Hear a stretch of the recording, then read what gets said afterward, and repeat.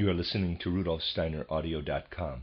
If you are listening to the podcast of this, it is located at rudolfsteiner.podbean.com. Please consider becoming a patron. As well, there are two publishing houses, steinerbooks.org in America and rudolfsteinerpress.com in England, who are the sole publishers of Steiner into English and have given me permission to do these recordings. Please consider patronizing them as well. This is a reading of a small cycle of lectures by Rudolf Steiner entitled Occult History, translated by D.S. Osmond and Charles Davy. This is lecture two, given in Stuttgart on the 28th of December 1910. In the introductory lecture yesterday, our attention was drawn to the fact that certain events in the more ancient history of mankind can be rightly understood only when we not merely observe the forces and faculties of the personalities themselves, but when we realize at the outset that through the personalities in question, as through instruments, beings are working who allow their deeds to stream down from higher worlds into our own, excuse me, into our world. We must realize that these beings cannot take direct hold of the physical facts of our existence, because, on account of the present stage of their development, they cannot incarnate in a physical body which draws its constituents from the physical world. If, therefore, they desire to work within our physical world, they must make use of the physical human being, of his deeds, but also of his intellect, his powers of understanding we find the influence and penetration of such beings of the higher world the more clearly in evidence the farther back we go in the ages of the evolution of humanity. But it must not be imagined that this downpouring of forces and activities from the higher worlds into the physical world through human beings has ever ceased. It continues even into our own time. To the spiritual scientist, who for years now has been absorbing principles which lead his feelings and ideas to accept the existence of higher worlds, to him a fact such as this will certainly, from the outset, be to some extent comprehensible, for he is accustomed always to draw the connecting threads which link our knowledge, our thinking, our willing, with the beings of the higher hierarchies. But from time to time, the spiritual scientist is also in the position of having to guard against the materialistic conceptions which are so prevalent in the present age and make it impossible for those who stand aloof from the development of the spiritual life even to enter into what has to be said about the working of higher worlds into our physical world. Fundamentally speaking, it is considered an antiquated attitude in our time, even to speak of the influence of abstract ideas in the events of history.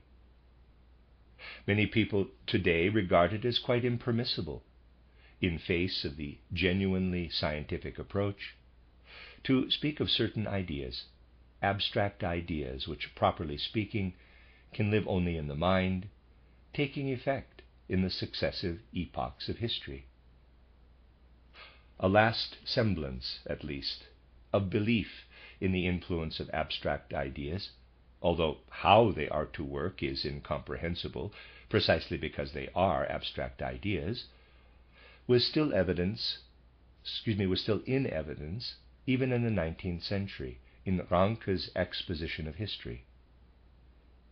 But even this belief in ideas as factors in history is gradually being discarded by our progressively materialistic development. And in a certain respect today, it is regarded as the sign of an enlightened mind in the domain of history to believe that all the characteristic features of the several epochs merely represent the convergence of physically perceptible actions, outer needs, outer interests, and ideas of physical human beings. The time is now past when spirits such as Herder, as if through a certain inspiration, still portrayed the development of human history in a way which enables one to perceive that it is based on the assumption, at least, of the existence of living powers, living supersensible powers manifesting through the deeds and the lives of men. Those who want to be accounted very clever today will say, quote, well, yes, a man such as Lessing certainly had many really intelligent ideas, but then at the end of his life he wrote nonsense, such as you find entitled The Education of the Human Race, where the only way in which he could help himself out of his difficulties was by linking the strict conformity to law shown by the flow of historical development with the idea of reincarnation. In the last sentences of title The Education of the Human Race, Lessing has actually expressed what is described by anthroposophy on the basis of occult facts, namely, that souls who lived in ancient epochs and then absorbed active living forces carry over these forces into their new incarnations so that behind physical happenings there is not an abstract onflow of ideas, but an actual and real onflow of the Spirit. As I said, a clever ass will insist that in his old age Lessing hit upon ideas as confused as that of reincarnation, and that these ideas must be ignored. This reminds one again of the bitterly ironic yet brilliant note once written by Hebbel in his diary, to the effect that a fine motif would be that a master, taking the subject of Plato in his school, has among his pupils the reincarnated Plato, who understands what the master is teaching so little that he is to be that he has to be severely punished. The conception of the historical evolution of humanity has lost much of the earlier spiritual insight. And spiritual science will really have to guard against the onslaught of materialistic thinking, which comes from all sides, and regards communications which are based on the spiritual facts as so much lunacy. That things have come to a pretty pass is shown, for example, in the fact that all those mighty pictures, those grand symbolical conceptions, which emanated from the old clairvoyant knowledge, and are expressed in the characters of legends and fairy tales, have interpreters of the very oddest kind. The most curious production in this domain is undoubtedly Salomon Reinach's little book titled Orpheus, which has caused a certain furor in many circles in France. Everything from which the ideas of Demeter, of Orpheus, and of other mythological cycles are supposed to have sprung is traced back in this book to purely materialistic happenings. And it is often utterly grotesque how the historical existence of this or that figure, standing, let us say, behind Hermes or Moses, is alleged to have originated, and with what superficiality an attempt has been made to explain these figures as the inventions of poetic license, of human fantasy.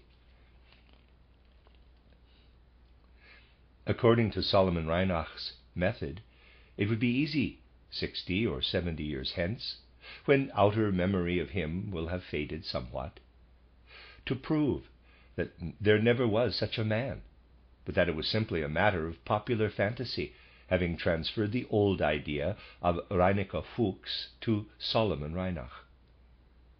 According to his method, this would certainly be possible. The absurdity of the whole book is on a par with what is said in the preface, that it has been written, quote, for the widest circles of the educated public, even for the very young, quote. quote, for the very young, close quote, since he emphasizes that he has avoided everything that might cause a shock to young girls, although he has not avoided tracing back the idea of Demeter to a pig.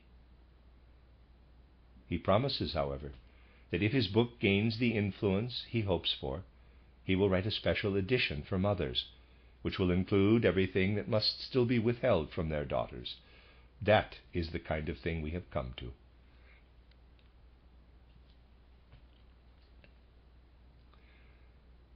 One would like to remind students of spiritual science, particularly, that it is possible to prove on purely external grounds that spiritual powers, spiritual forces have worked through human beings right up to our own century, and is quite apart from the purely occult, esoteric research with which we shall be mainly concerned here.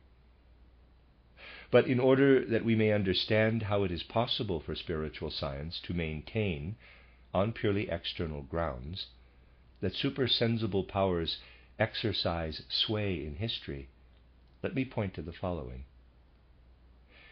Anyone who gains a little insight into the development of modern humanity, let us say in the 14th and 15th centuries, and on until the 16th, will realize how infinitely significant in this outer development was the intervention of a certain personality, one in respect of whom it can be proved from completely external evidence that spiritual supersensible powers worked through her.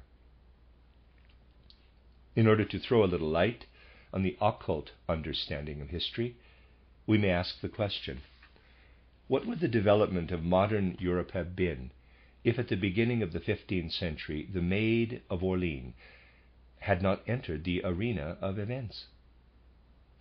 Anyone who thinks, even from an entirely external point of view, of the development that took place during this period must say to himself, Suppose the deeds of the Maid of Orleans were erased from history.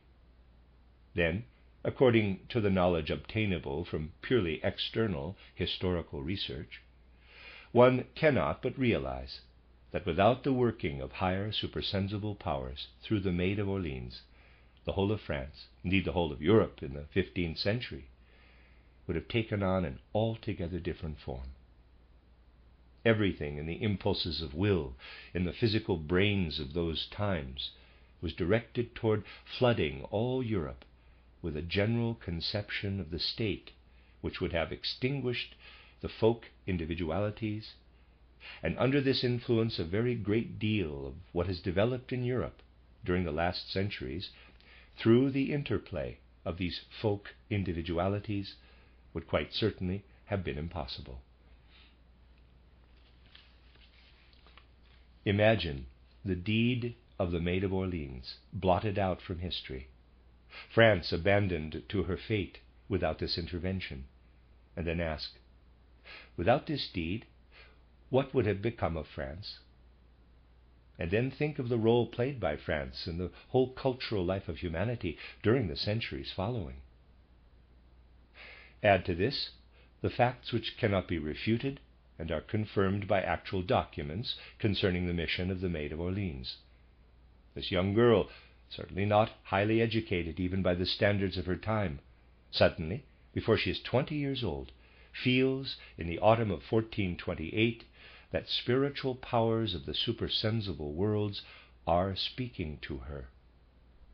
True, she clothes these powers in forms that are familiar to her, so that she is seeing them through the medium of her own mental images. But that does not do away with the reality of these powers. Picture to yourselves that she knows that supersensible powers are guiding her will toward a definite point. I am speaking, to begin with, not of what can be told about these facts from the Akasha Chronicle, but only of what is confirmed by documentary evidence.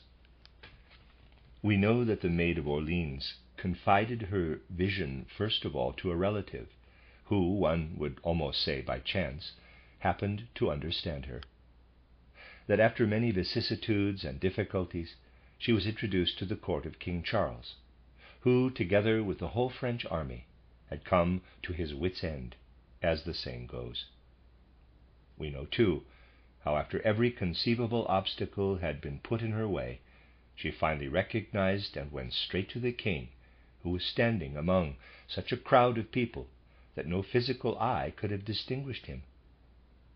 It is also known that at that moment she confided to him something he wanted to test her by it, of which it can be said that it was known only to him and to the supersensible worlds. You also know from ordinary history that it was she who, under the unceasing impulse and urge of her intense faith, it would be better to say through her actual vision, and in face of the greatest difficulties, led the armies to victory and the king to his crowning.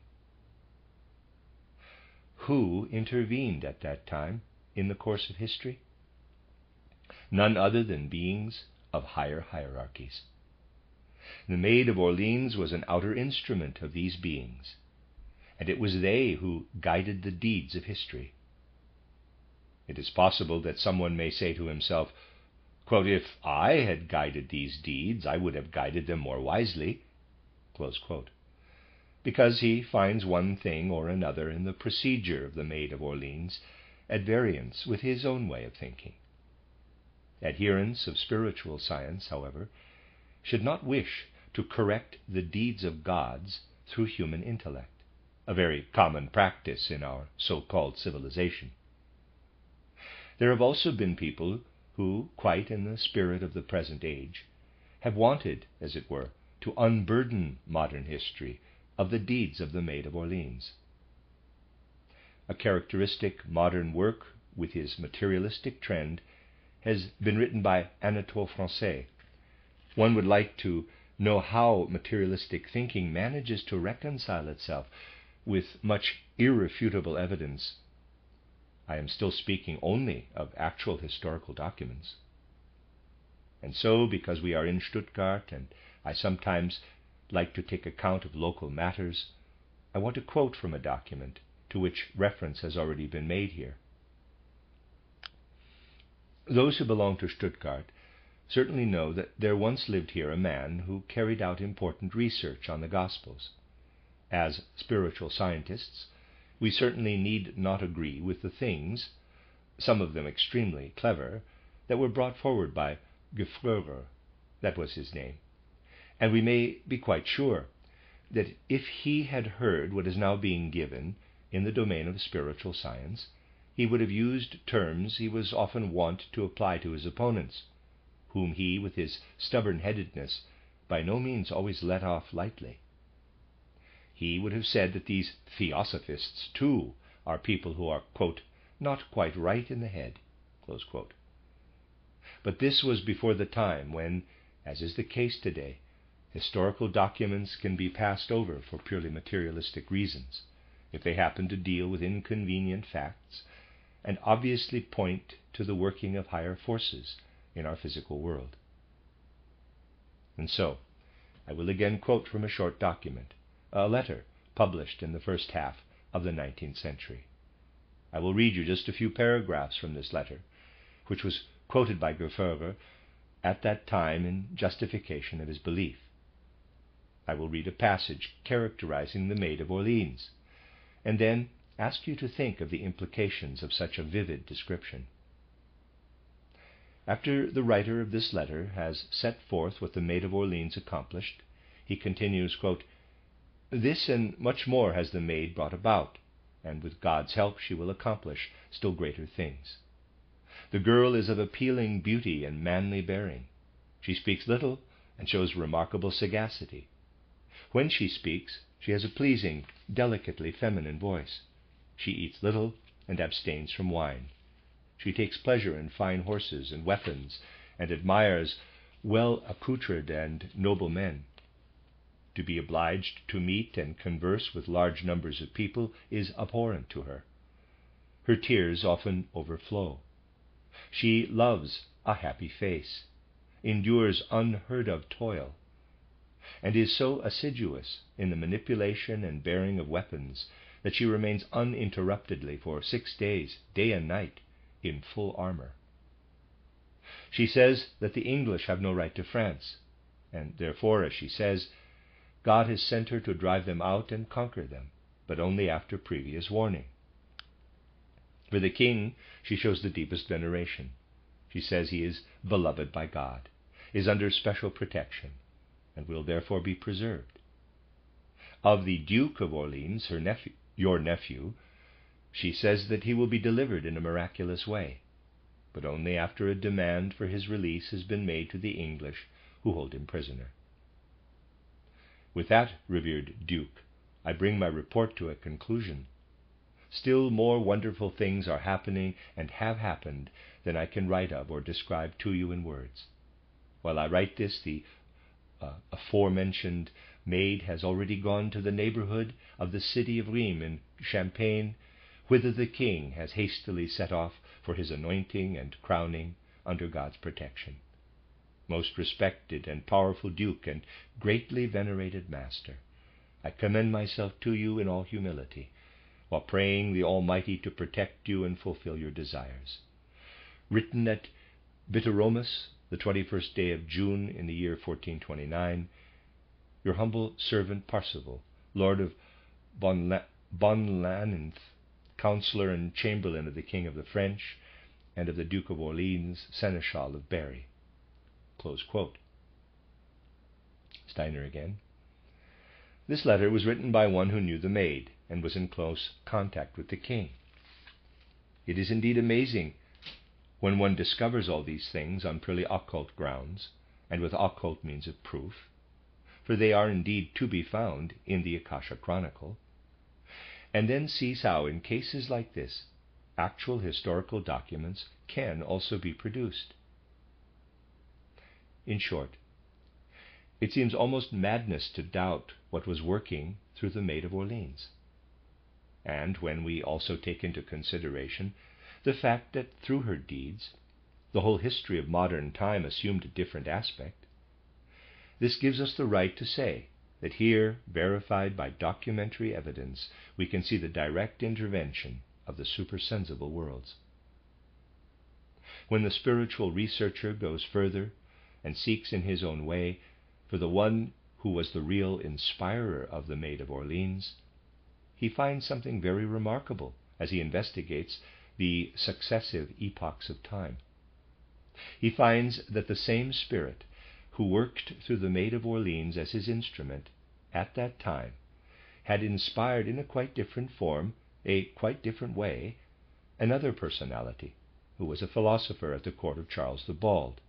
This was Scotus Erigena through whose philosophical and theological ideas, in an earlier period, Europe had been so deeply influenced. And so we see that the same powers work in different epochs, in a different way, through human beings who are their instruments. That there is continuity, an on-flowing stream of happenings in what we call history. I showed you yesterday how a significant myth of Babylonian Chaldean times points to the penetration of the spiritual worlds into men upon whom much depended for the third post Atlantean period, for the whole of historical development in ancient Chaldea, in ancient Babylonia.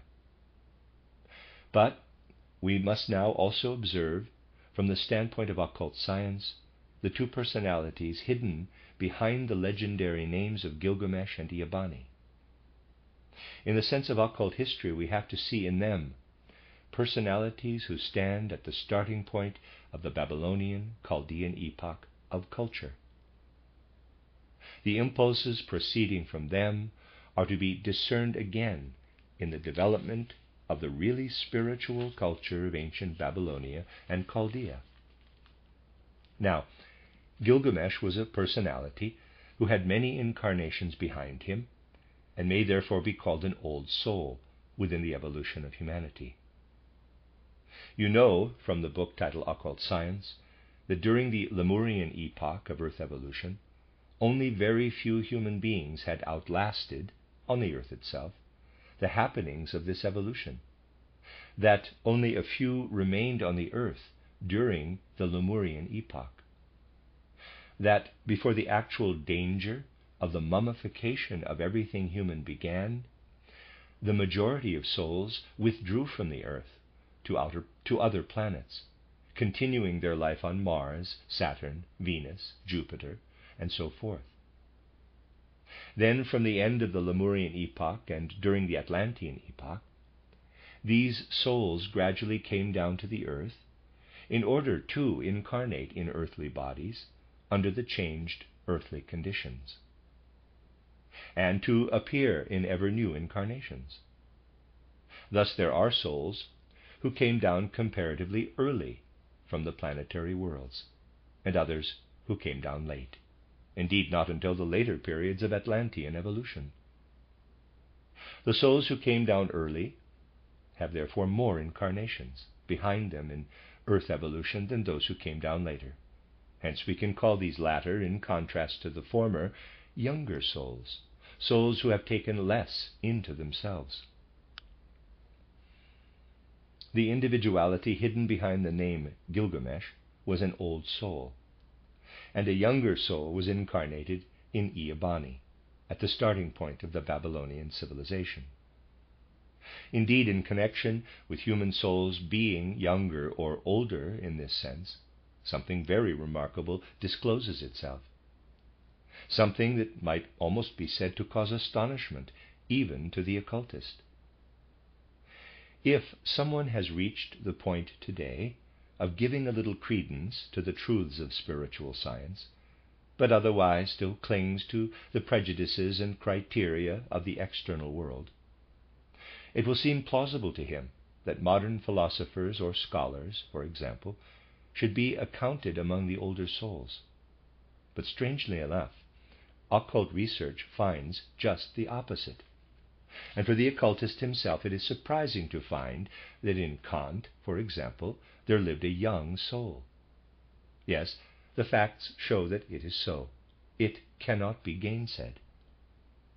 It can also be intimated here that younger souls, the majority at any rate, incarnate in the colored races, so that it is the colored races, especially the Negro race, which mainly brings younger souls to incarnation. The characteristic quality of that kind of thinking, which comes to expression in erudition, in the materialistic science of today, calls for younger souls. And it can be shown that in the case of many a personality, where one would not in the least expect it, the preceding incarnation was in an uncivilized race. That again is what the facts tell us. It must be kept strictly in mind, for it is so. Naturally, this does not in the least detract from the significance or value of the opinions we have formed about the world around us. Nevertheless, it must be grasped in order fully to understand the essentials here. In this sense, in Ea Bani, we have to do with a young soul, and in Gilgamesh, with an old soul in ancient Babylonia. The whole nature of an old soul will enable it early in life to grasp not only the essential element, the essential factor in the existing culture, but also that which strikes into it as a new impulse, opening up a wide vista into the future. There will be many, of course, who will protest if one tries to make it plausible to them that the theosophists whom they are wont to look down upon are, generally speaking, older souls than people who deliver scientific lectures. Investigation shows, however, that this is so. And although spiritual research must not be misused for the purpose of forcing people to change their criteria of judgment, or of scoffing at what is, after all, part of the very make-up of our civilization. Nevertheless, the truth must be faced fairly and squarely. Gilgamesh, then, was a personality who, owing to his particular condition of soul, participated in the most progressive spiritual elements and spiritual factors of the age in everything that threw light far into the future, and at that time could be attained only if such a personality went through a kind of initiation. Through the imparting of something that can be received only through a certain initiation, Gilgamesh was to be enabled to provide a kind of leaven for the Babylonian culture. He had to experience an initiation up to a certain degree. Let us think of this Gilgamesh at the point where he stood in the evolution of humanity before this initiation. He was a man of the third post Atlantean epoch. But in this epoch, twilight had already fallen over the natural human clairvoyance, over what men were able to achieve through forces that were innate in them. These forces were no longer present to the degree that could enable any great number of men to look back into their earlier incarnations. If we were to go farther back, into the second or into the first post Atlantean epoch, we should find that the majority of human beings then on the earth could look back into their earlier incarnations, into the course of their soul life before their present birth. But that faculty had been lost. In the case of Gilgamesh, the being who was to reveal himself through him, and who could do so only by leading him presently to a kind of initiation, kept a guiding hand upon him from the outset, and set him at the place where he came to recognize his own position in the history of the world. As it were, through supersensible events, presented to us in the pictures of the myth I outlined to you yesterday, a friend was placed at the side of Gilgamesh, a friend whose barbarity and uncivilized nature are indicated by the statement that his outer form was half animal. It is said that this friend had skins of animals on his body, which means that he was still covered with hair like the men of primeval times, that his soul was so young that it built for itself a body which showed the human being still in a savage state. Thus, the more advanced Gilgamesh had in Eabani a man at it. Read that again. Thus, the more advanced Gilgamesh had in Eabani a man at his side who, because of his young soul and the bodily organization conditioned by it, still possessed ancient clairvoyance. This friend was given to Gilgamesh in order that he might find his own bearings in life. With the help of this friend, he was then able to achieve certain things, such as the retrieval of that spiritual power presented to us in the myth in the picture of Ishtar, the goddess of the city of Erech. I told you how this goddess had been stolen by the neighboring city, and that for this reason Gilgamesh and Eabani together waged war against this city, vanquished its king, and brought the goddess back. If we are to understand, in the true historical sense, such things as are presented to us in these old myths, we must investigate their occult background. Behind this rape of the city goddess, there lies something similar to the rape of Helen, who was carried off to Troy by Paris. We must realize that there are good grounds for what is stated in my little book titled Blood is a Very Special Fluid. It is pointed out there that in the peoples of ancient times there was a kind of collective consciousness. A man did not merely feel his personal ego within his skin, but he felt himself as a member of the tribe, of the city community. Just as the individual human soul is felt to be the centralizing factor for our organism as a whole, uniting fingers, toes, hands, legs, so did man in very ancient times feel himself a member of the group soul. Something of the kind still persisted in the early city communities, even in ancient Greece.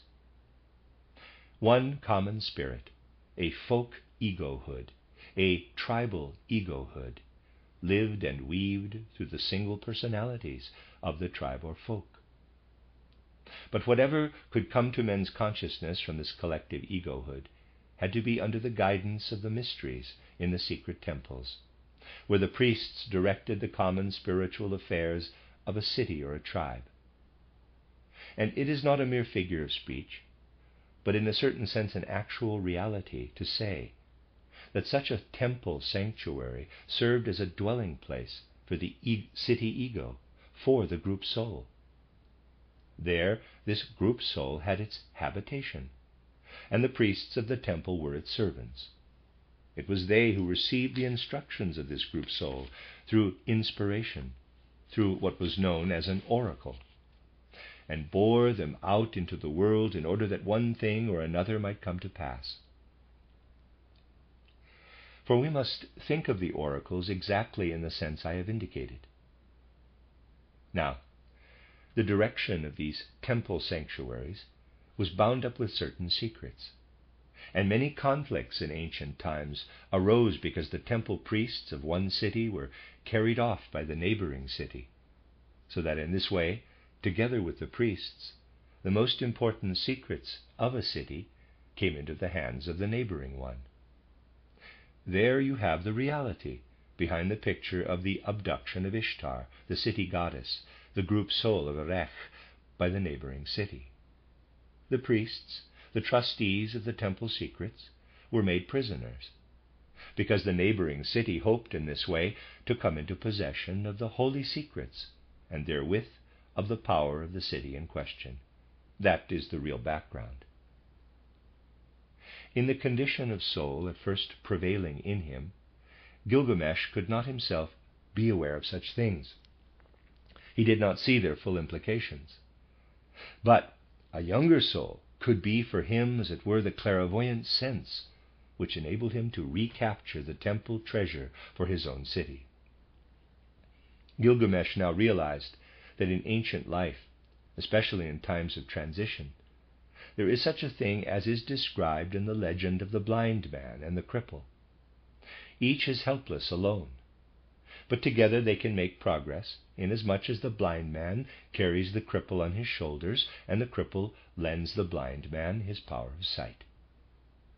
In Gilgamesh and Eabani, whose respective gifts differed so greatly, we see the same kind of cooperation transformed into the spiritual. In the historical facts of ancient times, we find this at every turn. And it is important to understand it, for only then do we realize why it is that myths and sagas so often tell of friends who have to achieve something together. Friends who are generally as unlike in their nature of soul as were Gilgamesh and Eabani. But what Gilgamesh also acquired through his friend Eabani was this he was, as it were, in quotes, infected by Eabani with a clairvoyant power of his own, so that, to a certain extent, he could look back into his own earlier incarnations. This would certainly have been beyond his normal faculties. And now, let us picture vividly how Gilgamesh must have been influenced by this vision of his past incarnations. What was he able to experience from the moment when it became possible for him to look back into what his soul had lived through in earlier incarnations. At first, it all seemed alien to him. He could not penetrate fully into what he himself had been in these earlier incarnations. He did not, as it were, recognize himself. So it would be with any human being if he began to look back into his previous incarnations. In most cases, things would be different from what they are in the vain imaginings which are always so much in evidence, when there is talk of some person or other being an incarnation of this or that individual. We may well come across a person who cites a whole series of great names in history of those of his former incarnations. In fact, numbers of people are convinced that they were never below the rank of a queen or a princess. In these matters, which should be treated with great earnestness, there must be no unlawful play of fancy, no misusage. Now, one who, like Gilgamesh at, the, at that time, begins to look back on his successive incarnations, may also now and then be veritably astonished. Gilgamesh himself looked back to incarnations when he was still involved in all kinds of conditions determined by the sway of the group soul. To be sure, he had, in a certain respect, as a person, worked his way out of these connections. Through Eabani, he had also come to know, for the first time, the whole import of what is symbolized in the myth through the figure of the city goddess. But when he looked back, there was much in his earlier incarnations that did not please him that went against the grain. He found, for example, that in these incarnations his soul had unusual had had unusual friendships, human connections of a kind which in his present life he would have regarded as shameful. Thus, in face of what the city goddess had revealed to him indirectly through Eabani, he began in a certain way, as the myth indicates, to upbraid, to reproach his own soul. In the myth, it is said that he reproaches the goddess about her lovers, for he is jealous of them. He is looking, as it were, across the horizon of his own soul, and the visions are living realities before him, as real as human beings who stand around someone in the physical world, eliciting feelings of sympathy or antipathy toward them. In the reproaches leveled by Gilgamesh against, against the goddess, we perceive that he is really speaking in terms of what is happening in his own soul. Thus, for example, when it is said that he reproaches the goddess about her previous relationship with one who is called Ishvilanu in the myth, this signifies that his own friendship with a certain person who had been his master's gardener in the preceding incarnation was not pleasing to him. What took place in the soul of Gilgamesh, and which first imparted to it that inner content, that inner realization, which he needed in order to become the inaugurator of the Babylonian civilization, all this is shown to us in the picture of the regaining of a certain clairvoyance, of the ascent into supersensible worlds, which, because he was an old soul, were in a certain sense lost to him. This is shown to us in the myth. And then Gilgamesh was to undergo a kind of initiation by being led back to that kind of vision which his own soul had possessed during Atlantean incarnations. What the myth presents as the journey over the sea and the wanderings of Gilgamesh to the west is nothing else than the inner path toward initiation, by which his soul is led upward to spiritual heights where it can perceive its ancient Atlantean surroundings, when, still clairvoyant, it had gazed into the spiritual world. The myth tells that on this, his spiritual journeying, Gilgamesh was brought to the great Atlantean being Xisuthros. This was a being who belonged to certain higher hierarchies, and who during the Atlantean time lived in the sphere of humanity, but was afterward transported from the world of men to dwell in higher regions. Gilgamesh was to meet this personality in order that through beholding him he might come to know the condition of souls when they are able to look into the spiritual worlds. Thus he was to be led upward again into the spiritual spheres by beings transported in his life of soul into Atlantean times. And when he is bidden not to sleep for seven nights and six days, this signifies nothing else than an exercise which was to make the soul capable of penetrating fully into the corresponding spiritual regions. When we are now told that he was not able to endure the test, this again signifies something of great importance. Namely, that Gilgamesh is represented as a personality who was brought to the very brink of initiation, who was destined, as it were, to look through the portal of initiation into the mysteries of the Spirit, but, owing to the conditions of the times, was not able to penetrate fully into their depths. In short, this is intended to indicate that the inaugurator of the Babylonian civilization had remained at the portal of initiation, that he could not look with full clarity into the higher worlds, with the result that he gave Babylonian culture the stamp that is a sign of no more than a glimpse into the secrets of initiation. We shall now see that the nature of external Babylonian culture is indeed such that it confirms what has just been said. Whereas, for example, everything points to the fact that Hermes was a personality who gazed into the very depths of the holiest secrets of initiation and could therefore become the great inaugurator of the ancient Egyptian culture, it must be said that the Babylonian culture was prepared in the way I have just described, through a leading personality who had in his soul all those qualities which develop when penetration into the innermost essence of initiation has not been fully achieved.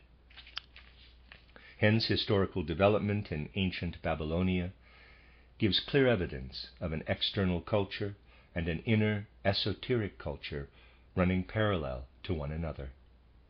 Whereas, in the life of ancient Egypt, there was greater interplay between these two aspects. In the ancient culture of Babylonia, they fell apart. And within what must be regarded as the Babylonian culture, inaugurated by Gilgamesh, there was enshrined the content and substance of the most sacred, most hidden mysteries of the Chaldeans. The initiates of these mysteries were indeed initiated into the innermost secrets. But this influence flowed through the external culture only as a tiny stream. This external culture proceeded from the impulse given by Gilgamesh. Everything that has been said points to the fact that Gilgamesh, as a personality, had not actually reached the point where he could have experienced complete initiation.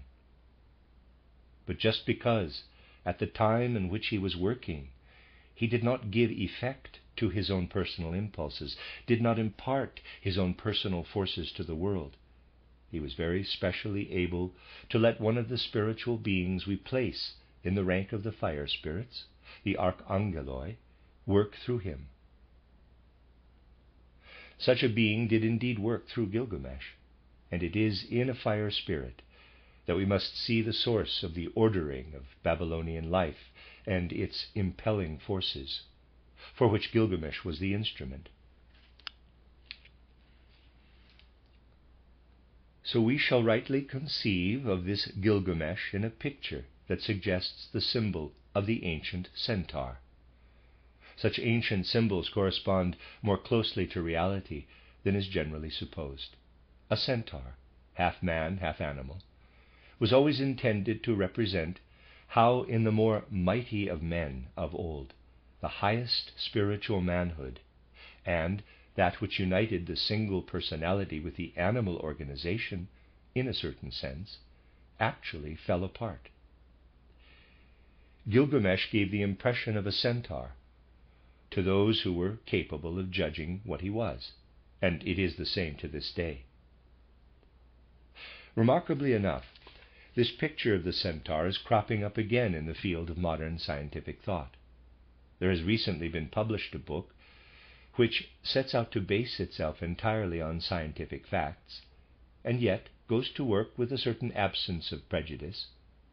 Hence, it does not produce such an amateurish, senseless hodgepodge as do those who call themselves monists. The author makes a genuine effort to understand man and how, as an independent being of soul and spirit, he is related to the physical organism. And then, this author, who bases himself on natural science, comes out with a remarkable picture. Quite certainly he was not thinking of the centaur when he conceived this picture, but referring to what results from natural scientific ideas about the relation of the soul to the body, he says, this may be likened to a horseman riding upon his horse. The facts of natural science, when rightly understood, compel one to say the soul is independent and uses the body as its instrument, as a rider uses his horse. Yes, the centaur is here again. Things will develop rapidly, and before people are aware of it, spiritual scientific ideas will take root in our contemporaries under the compulsion of the facts of natural science itself. Not long ago, I was talking to a philosopher who sets great store by materialistic ideas. And he said to me, quote, Of course, the picture of the centaur arose because the old inhabitants of Greece saw certain tribes coming down from the north on their horses, and as it was generally misty, they thought that horse and rider were a single form. With all their superstition, they might easily imagine this. This is a really ingenuous idea, perhaps not exactly philosophical, but certainly ingenuous. This picture of the centaur, which did not arise because the Greeks could not distinguish the rider from his horse, but because the earlier peoples inevitably thought of the spiritual being of man as independent of the bodily nature, this idea of the centaur is again cropping up in our time out of the very concepts of natural science.